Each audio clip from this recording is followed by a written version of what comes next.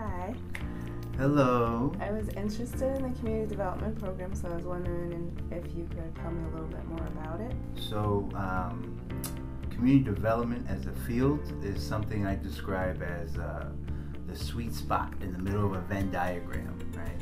In that Venn diagram are things like education, housing, health, the arts, uh, transportation, environment, all of these things and how they all interact uh, at the ground level and at a systems level as uh, through policy, through government, through you know how your city makes decisions, where they build, how they build, what they build, who they employ to build, all of these things um, together, working in concert, or in some cases not, is community development.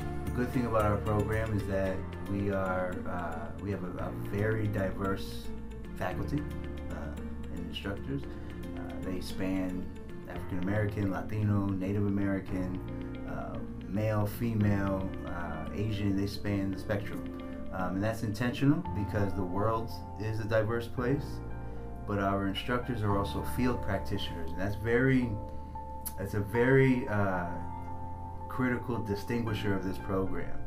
They're not only scholars who academically, you know, they have the credentials to teach, obviously, but they also are leaders in their fields, in housing, in social services, in economic development, in affordable housing development, in healthcare, um, as well as nonprofit and, and for-profit social enterprises, things like that. So these are people who are not only contextualizing content to real-world experiences, but they're also providing real world, out of the classroom, experiential learning experiences to students, and they also serve as potential employers.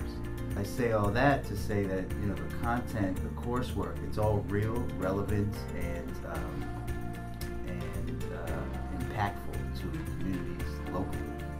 Based on what you just said, is that what makes Roger Williams um, program, community development program, um, different from other community development programs that are offered at other schools? That's a good question. So this the um, community development program at Roger Williams is the only community development degree program in the state. Uh, in New England, you have us and you have one of the other best programs in the country at Clark University. Um, and I actually am very close with the the directors there at that program, and um, we actually work in tandem um, and uh, complement each other. The community development field encompasses things like architecture and planning.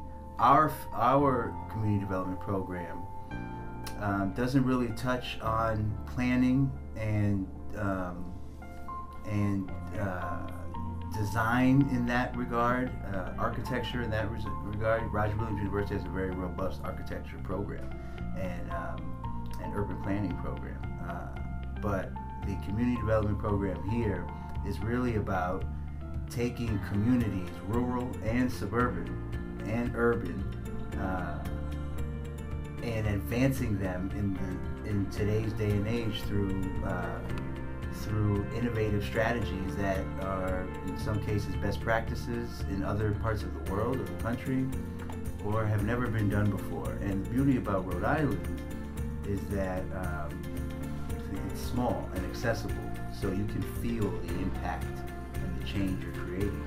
Now, for those who aren't local, all of our courses are online. And they're developed in a way where you can apply those techniques, those strategies, those skills, those content, the the the uh, assignments in those classes to your own community. Roger Williams University, the School of Continuing Studies. Your goal, our purpose. We meet you where you are.